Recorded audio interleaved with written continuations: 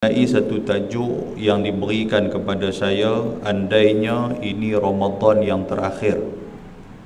Tajuk ni Ramadan terakhir ni ni orang kata tajuk orang tua bahasa kita ni.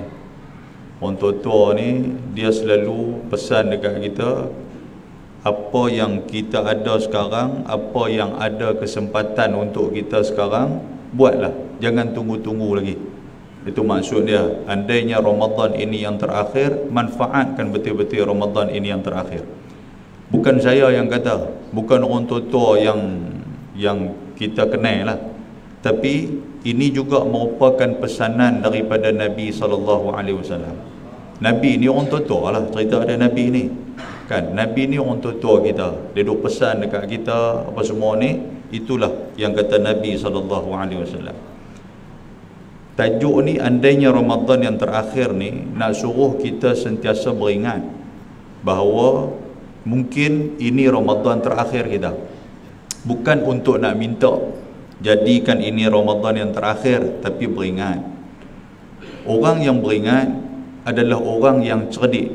Orang yang beringat yang dia kata mungkin ini Ramadan yang terakhir adalah orang yang cerdik sekiranya ingatan dia itu disertai ataupun diselangi dengan amal ibadah.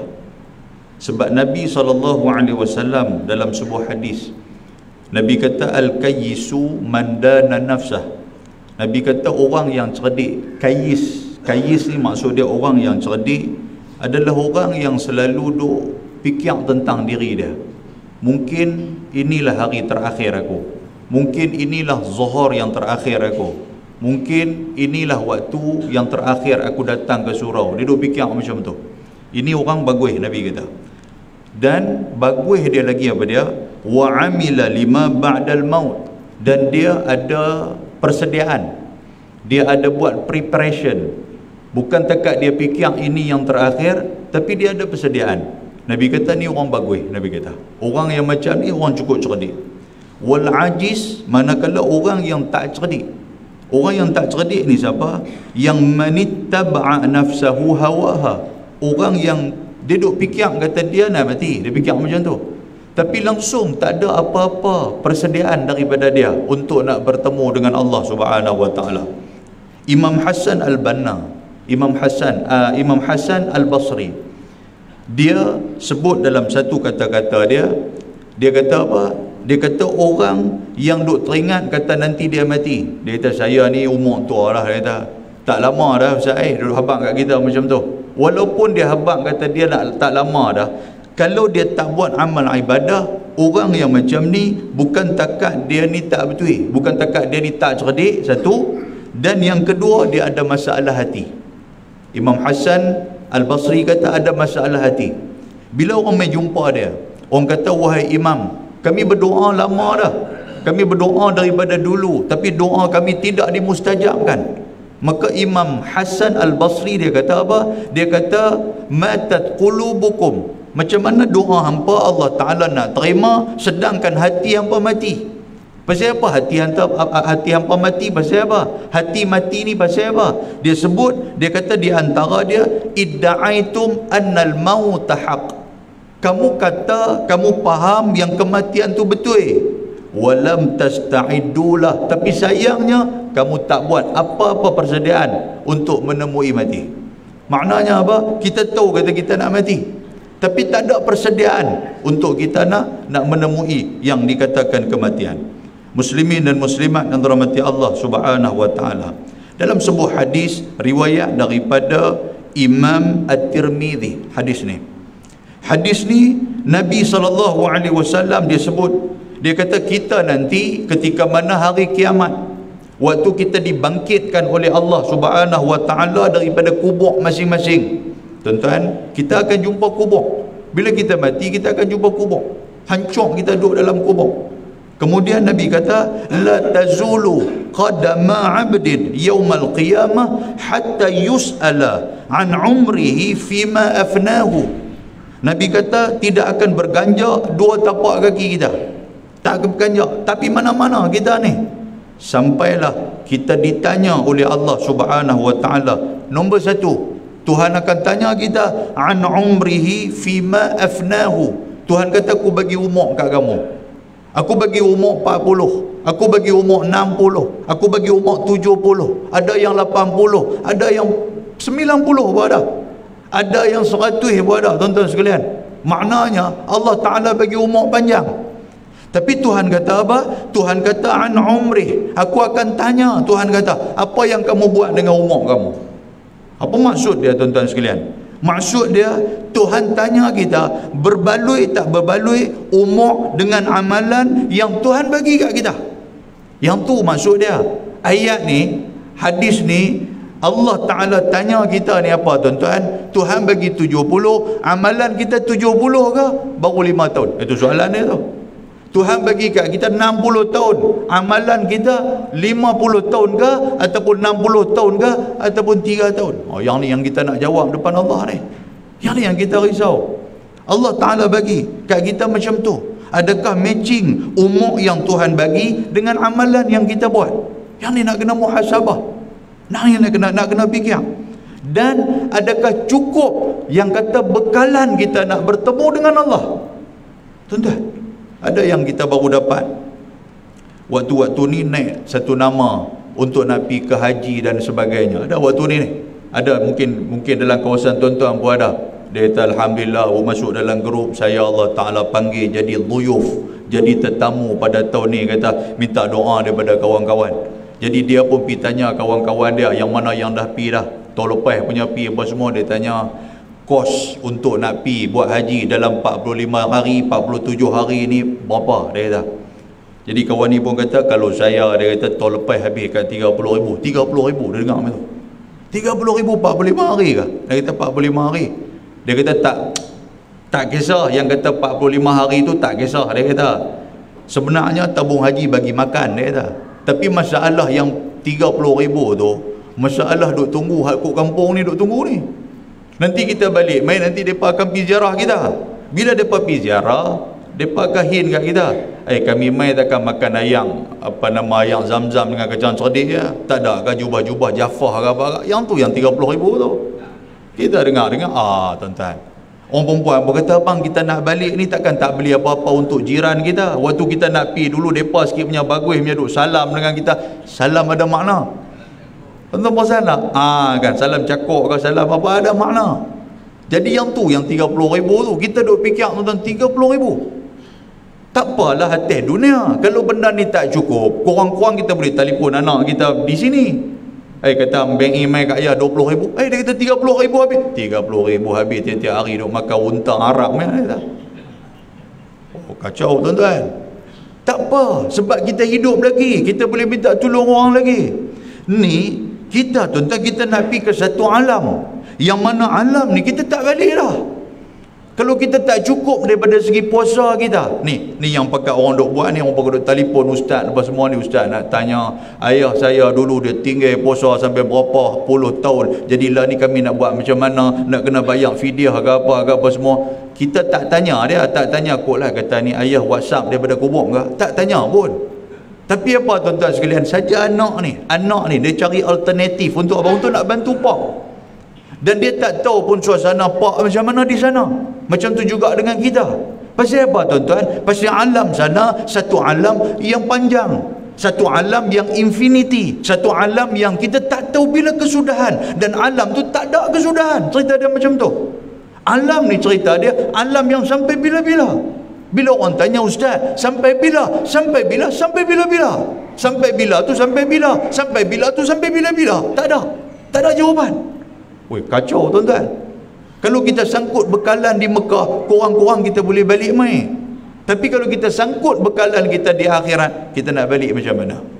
Dan benda ni lah tuan-tuan sekalian yang Allah Subhanahu Wa Taala sebut di dalam surah Jumuah ayat 8. Tuhan kata apa? Qul innal mauta alladhi tafirru minhu fa innahu mulaqikum. Tuhan kata katakan wahai Muhammad sesungguhnya kematian satu benda yang orang tak mau sembang tentang mati ni.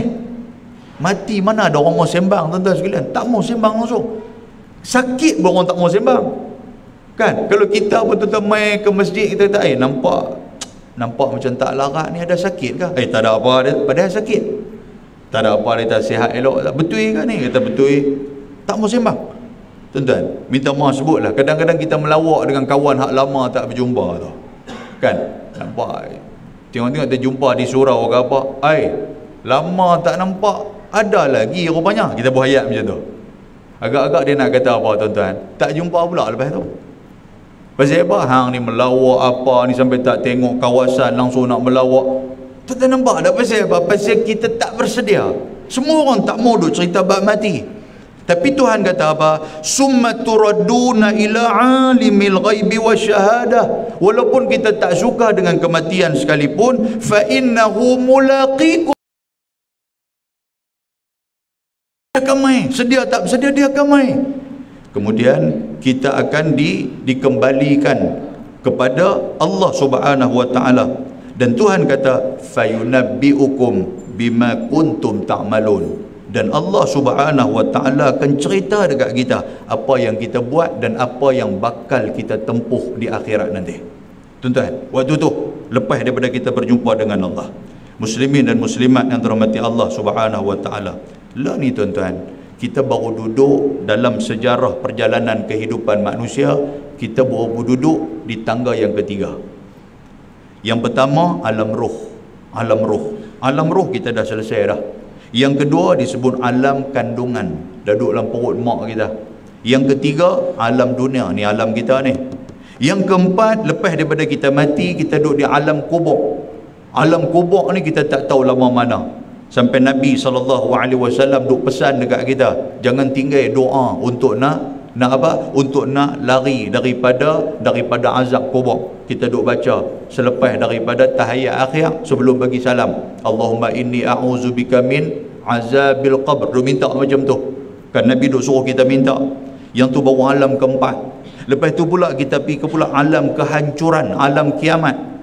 Habis alam kiamat kita akan dibangkitkan dalam hadis dalam ayat Quran dalam surah Yasin Allah Taala sebut dekat kita in kanat illa sayhatan wahidatan fa idahum jami'un ladaina muhdarun. Kita semua akan pakak bangkit dengan sekali tiupan sangkakala. Tonton tu lama benda tu. Lepas tu pula lepas kita pi kita bangkit kita akan berjalan ke padang mahsyar padang mahsyar pun kita akan berdiri lama mana? Lama tuan-tuan sekalian. Habis padang mahsyar kita akan pi pula cari siapa dia? Cari syafaat yang boleh tolong kita cari Nabi. Para Nabi kita berjumpa semua tak boleh tolong. Last sekali yang boleh tolong siapa? Nabi Muhammad sallallahu alaihi wasallam. Dalam perjalanan kita nak cari Nabi ni tuan-tuan banyak benda kita tempuh lama urusan kita. Kemudian lepas daripada pada cari syafaat kita akan dihisap segala amal kita. Hisap Tuhan akan tengok balik. Semayang kita betul tak betul. Puasa kita betul tak betul. Sedekah kita betul tak betul. Zakat yang kita buat keluar betul tak betul. Benda ni akan dihisap. Bukan yang tu saja. Ni benda yang tak nampak depan mata orang amalan yang kita buat. Benda ni juga akan dihisap.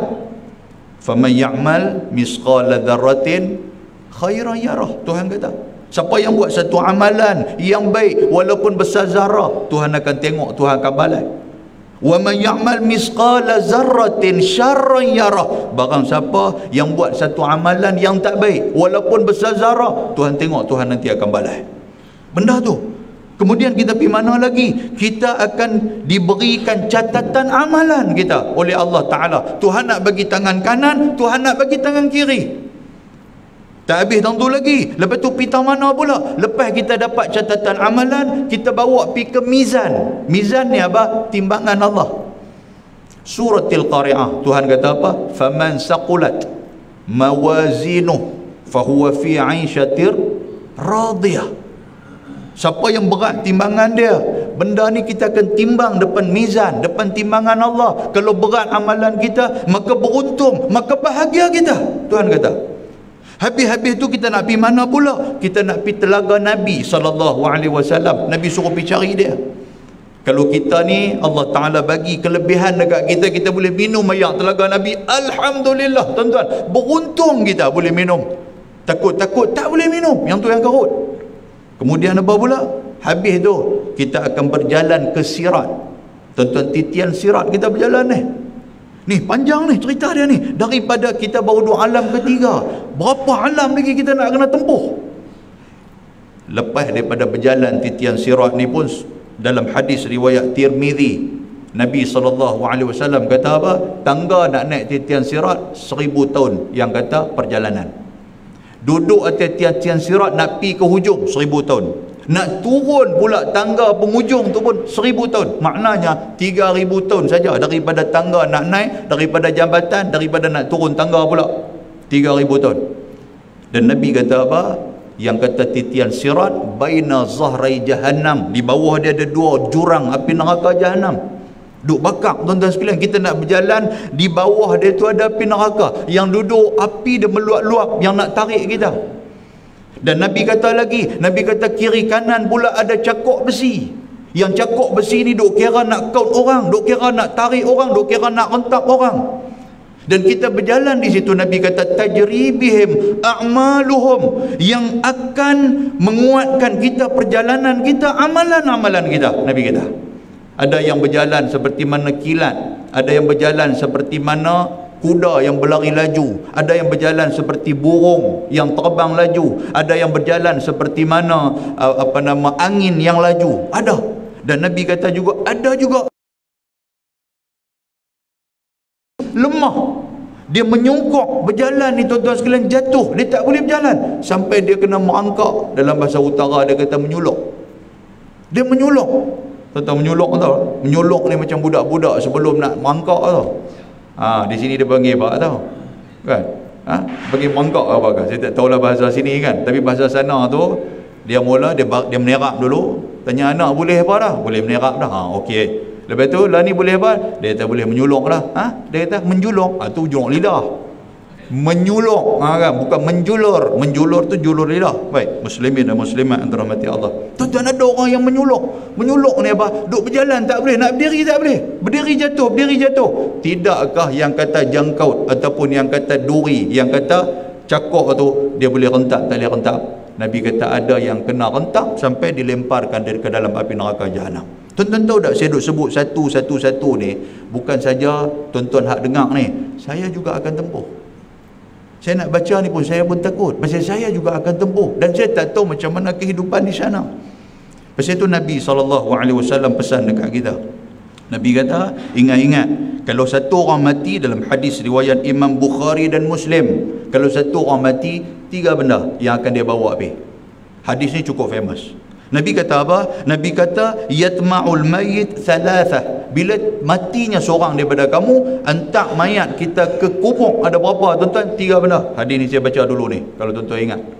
Yang pertama Nabi kata ahluhu wali keluarga, kawan-kawan, sahabat handai, jiran tetangga yang mana kenai semua piantang habis. Yang kedua Nabi kata maluhu, harta benda. Dan yang ketiga Nabi kata wa amaluhu, amal. Tiga benda ni.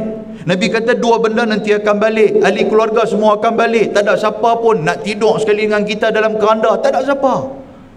Amalan kita tuan-tuan sekalian yang akan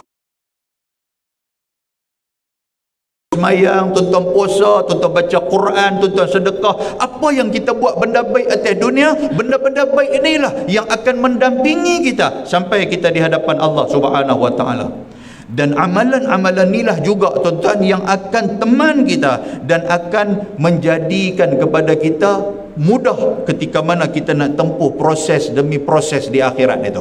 Kita nak tempuh nak pi ke alam kubur kita nak pi ke alam akhirat kita nak pi ke hari kiamat kita nak pi ke hari kebangkitan kita nak duduk di padang mahsyar kita nak dapat syafaat kita nak dapat hisab.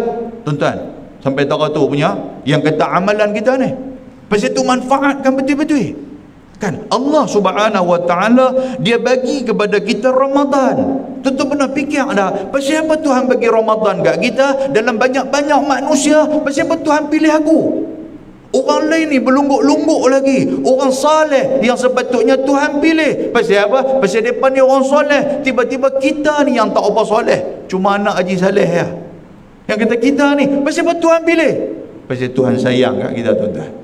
Dan kalau tuan-tuan tengok yang kata rahmat Nabi SAW kepada umat dia. Pasal kita ni umat Nabi Muhammad sab'in sitina was sab'in. 60 sampai 70 ya. Lagu tu yang umur kita ni pendek Nabi nak abang. Kan? Nak banding umat-umat dulu. Umat dulu umur sampai beratus-ratus. Jadi mereka boleh buat amalan macam-macam tuan-tuan sekalian. Amalan banyak dia boleh buat. Kita ni amalan sikit aja kan? So amalan hak sikit ni tuan-tuan tengok macam mana. Yang kata rahmat yang Allah Ta'ala bagi kepada Nabi dan Nabi nak bagi dekat kita Nabi minta kefarduan puasa yang ada pada hari ini sekarang. Kalau ikut akal kita amalan yang kita buat dengan gandaan pahala yang cukup banyak macam-macam benda Tuhan bagi dalam bulan puasa ni tuan-tuan tak berbaloi. Ataupun orang kata apa? Ish kata tak padan dengan umur kita ni Maknanya kalau kita nak buat semua dalam amalan dalam bulan Ramadan ni memerlukan umur beratus tahun. Apa maksud saya? Tuan-tuan tengok tang semayang sudah. Siapa yang buat satu amalan fardu? Allah Ta'ala bagi kat dia 70 kali amalan fardu seolah-olah dia buat. Kita satu hari ada 5 kali kita buat. 5 kali 30, 150 tuan-tuan sekalian. 150 waktu, 30, 30 hari. 150 waktu tuan-tuan kali dengan 70 pula berapa puluh waktu dah kita dapat. Yang tu baru sebulan. Lepas tu pula dengan bacaan Quran digandakan pahala. Betul apa dia pula dengan dilepaskan daripada api neraka? Lepas tu apa pula dengan diberikan keampunan? Lepas tu apa pula ditakdirkan pula kita dapat Lailatul Qadar? Tadi tu imam kita baca apa? Allahumma barik lana fi Ramadan warzuqna Lailatul Qadar warzuqna ni maksud apa? Rezekikan kami lailatul qadar. Tuan-tuan lailatul qadar ni berapa lama? Khairun min alfishah nabi kata lebih baik daripada seribu bulan. Seribu bulan tu berapa lama? Seribu bulan tu 83 tahun. 83 tahun yang dipenuhi dengan amal ibadah Maknanya tak ada masa kita nak makan, tak ada masa kita nak buang air, tak ada masa kita nak tidur, tak ada masa kita nak main-main. Penuh satu waktu tu apa? Maksud dia satu hari 24 jam dalam 83 tahun tu penuh dengan amal ibadah. Mana ada orang 83 tahun penuh dengan amal ibadah tuan-tuan? Ada tak ada? Tak ada. Tapi apa Tuhan bagi kat kita? Ini kelebihan dia. Sebab itulah manfaatkan betul-betul. Manfaatkan Ramadan. Tak lama dah tuan-tuan, 13 hari ya ada ni sepatutnya 13 hari ni lah lagi kita kita duduk orang kata apa duduk duduk berusaha. Macam mana yang baru ni Malaysia dengan Oman baru ni kena tinggal satu kosong tu. Kan? Hujung-hujung tu tuan tengok hujung-hujung ni mereka jadi laih nak lena rumah kita kan tobat dah eh. Hujung-hujung ni lagi mereka duduk tekan Oman lagi-lagi tekan tekan tekan. Tengok-tengok Oman pergi bubuh pula sebiji jam tapi tak apalah usaha mereka kita pula ni tuan-tuan mula-mula ni nampak ai sakan ni macam Malaysia mula-mula nampak kali ni memang boleh kan? Kira saya pun duk buka radio ni orang duk telefon apa duk tanya ni semua dah pergi Bukit Jalil kan semua pergi dah. Agak-agak berapa? Kali ni boleh kat kita punya stadium kita 2-0 ni oh kemah tu.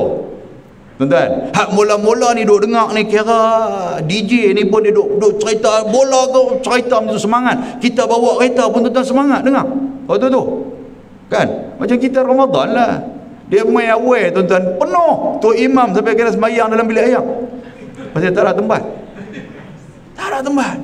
Lepas tu dia main mula dah sikit dia main mula dah. Dia kan dalam lima hari dia mula dia mula kurang lah. Kan? Dia main sepuluh hari dia mula kurang ni tuan-tuan tujuh belas hari. Kan?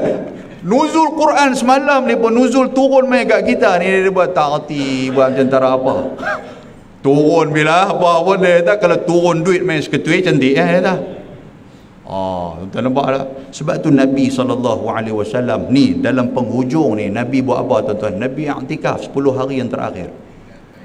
Ketatnya i'tikaf Nabi ni nak abang-abang. Nabi abang kalau ada orang sakit sekalipun dalam rumah Nabi, Aisyah kata. Aisyah kata Nabi kalau duduk dalam Masjid Nabawi, tiba-tiba ada orang sakit dalam rumah. Ada orang sakit dalam rumah dia. Nabi tak peduli. Mereka ada sakit dalam rumah tu.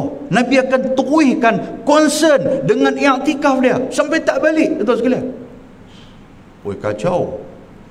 Tu ustaz. Ni tak orang balik ke ustaz ni kami ni? Kan? Ustaz tak apa. Duk tani duk bagi kuliah ni tak orang balik ke? Sabar. Saya pun nak balik. Saya nak balik jauh ni. Dah halang-halang main daripada Putrajaya. Balun. Bila sikit panjang. Betul tak? Dah. Ni duduk dalam masjid ni. Tak mau balik. Yang kata Nabi ni sehingga kan Nabi dia suruh kepala kita kata pula kan kita jawab lah kita pun pandai yang kita jawab ni Ustaz Nabi tak balik padan lah rumah dia sebelah masjid ni Ustaz. Eh rumah kami nak kena keluar pukul kaki berjalan sampai berapa biji rumah punya ada ada dia kata. Kan? Jadi Tuan ada ikut Nabi sudah Ustaz. Eh kita buat cara kita. Eh nak ikut siapa? Tuan nampak tak? Allahu Akbar. Baik, muslimin dan muslimat dan dirahmati Allah. Muslimin, jadi tuan-tuan sekalian, manfaat kita tinggalkan Ramadan tu kita tak mau. Biar Ramadan tinggal kita tak apa. Sekurang-kurangnya apa kita masih manfaat dengan dia. Memang tetamu dia macam tu. Tetamu ni bila sampai waktu dia dia pun habang kat kita ni saya nak balik dah rumah saya. Kita kata ya kak. Ya tak ada masalah. Kita pun salam dengan dia kita pun habang kat dia kata nanti main lain lah. Yang tu aja. Kan? Tapi kalau kita tinggal dia dia duduk dalam rumah kita kita main duduk di kedai makan, kita kata rumah lah siapa? Tak rumah aku ada tetamu aku. Eh, hantar orang tetamu hang main kedai makan. Biar pergi kat dia, dia tengok apa ada di rumah aku. Hang pula aku makan di luar. Adakah tuan-tuan rumah yang celaru lagu ni? Ada, bukan tak ada. Kita lah tu, cerita ada lagu tu. Ramadan duk ada lagi. Hang buat tak erti dengan Ramadan ya? Ya Allah. Baik, muslimin dan muslimat yang dirahmati Allah. Jangan kita jadi seperti orang munafik dengan Ramadan. Wal'ayazubillah. Kerana Nabi SAW sebut, Nabi kata apa? Nabi kata, Mamarra bil mu'min syahrun khairun lahum minhu. Nabi kata, orang beriman ni, Ramadan satu bulan yang cukup. Ramadan ni. Satu bulan yang dia duk tunggu. Bukan takat tunggu bila bulan ni dah mula sampai ke 17 hari, sampai ke 18, syakgi nak pi ke 20, nak pi 25. Mula nak tinggal ni, dia duk rasa sayu tuan-tuan. Sayu sangat-sangat. Eh tak tahulah bila lagi nak boleh tadarus Tak tahulah bila lagi nak boleh puasa Tak tahulah bila lagi nak dapat keampunan. Tuan-tuan Ni sepanjang masa ni redha Tuhan duduk dengan kita ni. Sepanjang masa. Sampai malam Malam kita duduk takbir Malam satu syawal. Waktu tu Allah Ta'ala dia akan tutup Yang kata pintu syurga Tuhan nanti akan buka balik Yang kata pintu api neraka. Lah duduk tutup lagi Pintu api neraka ni tak buka tuan-tuan sekalian. Jangan duduk gagah duduk pergi buka. Jangan duduk gagah pergi buka biar bi biar Tuhan tutup. Tapi malam tu Tuhan nanti akan buka balik. Allahu akbar. Yang ni yang kita risau. Dan Nabi kata wala bil munafiqin syahrun syarrul lahum minhu. Orang munafik ni bulan Ramadan lah bulan balik serabut bagi dia. Dia tak boleh nak buat apa. Bulan Ramadan lah bulan yang tak boleh nak buat aktiviti dia. Bulan Ramadan dia duduk tunggu bila nak pi sampai kalender kuda dia duduk pangkah setiap hari kan? Oh dia kata 18 lah cantik dia kata 19 cantik. Dia kata bila nak pergi tu tetap sabar lah dia kata ni. Dia kata selalunya kalau lepas 15 dia kata cepat. Dia kata tu? Kan? Oh ada orang fikir macam tu. Dia kata 10 mula ni memang dia jadi slow sikit. Tapi dah mula 15 malam orang dah mula witir. Dia pegang tu. Dia kata malam witir dia kata cantik. Dia kata pasal apa? Kalau orang utara kata sopangan duduk atas turun gon dia kata kan? Ah ha, tuan-tuan turun gon maksud dia duduk atas bukit kita turun laju. Brake tak pakai tuan-tuan sekalian. Jadi turun laju dia laju. Nak nak kayu naik atas tu penat. Tapi nak turun tak apalah dia kata hang sedang-sedang lagi. Lagu SG Bank ya dia kata lagu raya. Yang tu ya. Oh naya tuan-tuan. Yang ni orang munaf orang munafik baik satu lagi hadis yang nak sebut kepada tuan-tuan. Nabi SAW tadi hadis tadi riwayat Imam Ahmad saya sebut tadi. Yang kata orang munafik ni Ramadan bulan yang cukup serabut bagi dia. Orang beriman Ramadan adalah satu bulan yang bahagia bagi dia. Baik dalam sebuah hadis riwayat daripada Imam Ahmad kata Nabi SAW Nabi kata man haruma khairaha faqad hurim barang siapa yang Allah Subhanahu wa taala haramkan dia daripada buat amal kebajikan dalam bulan Ramadan maka dia akan diharamkan segala kebaikan untuk diri dia. Wal ayazubillah tuan-tuan kalau hati ni tak ada nak baca Quran dah kalau hati tak ada nak semayang dah kalau hati tak ada nak duduk dalam majlis ilmu dah kalau hati ni tuan-tuan dah tak ada nak duduk nak nak tadarus dah jaga elok-elok. Pasal apa? Rupanya Allah Taala tengah mengharamkan kita daripada buat kebaikan. Jadi manfaatkan betul-betul tuan-tuan ha? manfaatkan betul-betul. Baik saya nak ambil dalam 2 minit lagi saya nak baca hadis Nabi SAW ada orang yang menyesai ketika mana di hadapan Allah. Hadis ni riwayat daripada Ibnu Asakir Nabi SAW sebut Nabi kata apa? Nabi kata asyaddun nas hasrah yaumal qiyamah Nabi kata di akhirat nanti ramai orang yang menyesai Nabi kata Pasal apa? Pasal ada satu orang yang imkanahu talabal ilmi fi dunya falam yatlubuh. Orang yang ada kesempatan, orang yang ada sihat, orang ada waktu. Dia tak ambil kesempatan untuk nak menuntut ilmu dan, dan beramal. Dia tak ambil waktu tu. Maka di hadapan Allah dia jadi manusia yang cukup menyesal. Begitu juga dengan orang yang ada ilmu warajulun alim, orang yang ada ilmu. Tapi ilmu tu dia tidak sampaikan kepada orang. Dia duduk jadi malu tuan-tuan sekalian. Dia baru balik Mesir ke baru balik Jordan ke duduk di kampung kita ni. Kan telur semayang ni dia tak pernah duduk duduk depan. Dia duduk cari tiang kosong-kosong tuan sekalian. Orang habis-habis semayang dia cunggit balik awal. Kan dia takut dia diangkat jadi imam lah apa semua kalau ustaz tak ada ni orang tengok dia, mana nak ada dia lari awal dah. Kokok dia boleh ganti tu sekalian. Tak mau macam tu. Dia tak mau nak sampai ke ilmu kepada orang. Di akhirat nanti dia merupakan orang yang menyesal. Itu satu. Yang kedua, orang yang menyesal ni apa? Kata Nabi SAW, riwayat Nahjul Balaghah, Imam Ali kata apa? Nabi kata, Inna a'zamal hasarati yawmal qiyamah. Sesungguhnya penyesalan yang paling besar bagi orang-orang ketika mana hari kiamat iaitulah hasrah rajul kasaba malan fi ghair ta' taatillah. Orang yang ada harta yang atas dunia ni dia duduk cari harta banyak tapi sayangnya dia tak sempat nak guna harta untuk jalan kebaikan. Ni orang macam ni. Menyesal dia. Dia mati tuan-tuan sekalian. Tuan-tuan bila kita mati cerita dia esok lusa harta boleh kat orang kan tu ya boleh kat bini kita bini kita pun pergi menikah lain apa semua lagu tu boleh kat anak-anak. Yang tu itu hakikat dia Kan? Bukan kata kat tuan-tuan saya pun sama. Saya pun nanti kalau saya mati ada harta sikit apa semua, bini saya pun menikah lain lah. Saya bangga dia ada kalau aku aku mati, hampirlah menikah lain. Kan? Bini kita pula abang kata, ni kalau dia mati, dia tak bagi kita menikah. Tu masalah tu. Kan? Yang kita kita bagi dia menikah kan? Dia apa kata memang kata kalau abang tak bagi pun saya saya menikah. Amboi buat apa? Dia kata tak tahulah saya jadi hantu saya cekik abang lah. Hai, hang boleh jadi hantu aku tak boleh jadi hantu. Eh tak, akarut kita ni. Kan muslimin dan muslimat yang terhormati Allah. So tuan-tuan sekalian, dua tiga hadis saya baca, ayat Quran saya baca kat tuan-tuan, saya bawa tuan-tuan pergi ke alam akhirat sebentar tadi walaupun tuan-tuan memang dua alam akhirat tadi ni. kan? Jadi mudah-mudahan benda tu bagi manfaat kepada kita. Jadi tuan-tuan hak tersisa ni manfaatkan betul-betul. Pasal apa? Pasal Ramadan duk tunggu kita, Allah Ta'ala pun dia duk panggil kita ya baril khair. Wahai orang yang nak kebaikan yammim wa abshir. Mailah manfaatkan Ramadan dan khabar gembira kepada kamu. Mudah-mudahan Ramadan kali ini bagi manfaat kepada kita dan Ramadan ini menjadi Ramadan yang terbaik. Minta maaf banyak-banyak di atas masa yang diluangkan bersama dengan saya. Aku qawli hadha wa astaghfirullahal azim. Assalamualaikum warahmatullahi wabarakatuh بسم الله الرحمن الرحيم الحمد لله صلاة والسلام على رسول الله وعلى آله وصحبه ومن تبعه ونصره ووالاه اللهم سلمنا لرمضان وسلم رمضان لنا وتسلمه منا متقبلا ربنا آتنا في الدنيا حسنة وفي الآخرة حسنة وقنا عذاب النار وصلى الله وسلم عليه والحمد لله رب العالمين تقبل الله منكم